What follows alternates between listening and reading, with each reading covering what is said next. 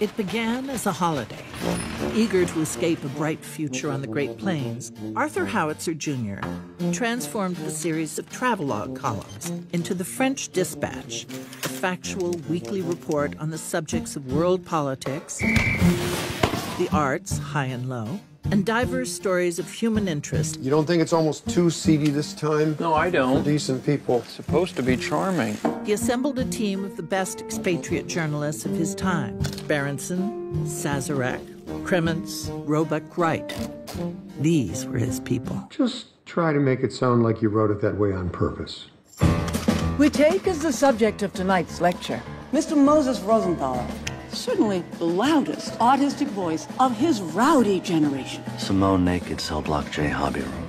I want to buy it. It's not for sale. Yes, it is. No, it isn't. Yes, it is. No, it isn't. Yes, it is. No, it isn't. Yes. In short, the picture was a sensation.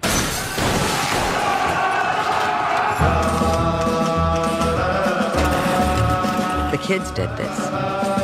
Obliterated a thousand years of Republican authority in less than a fortnight. What do they want? Freedom. Full stop. I'm naked, Mrs. Krementz. I can see that. Lieutenant Nescaffier is the great exemplar of the mode of cuisine known as police cooking. The aromas of the kitchen cast a spell, which was to be mortally broken. As you know by now, we have kidnapped your son. Oh,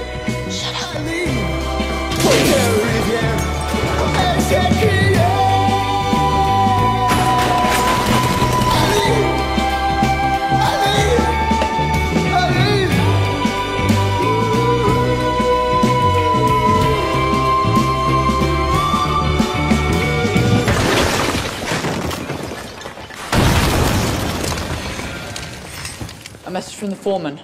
One hour to press. You're fired. Really? Don't cry in my office.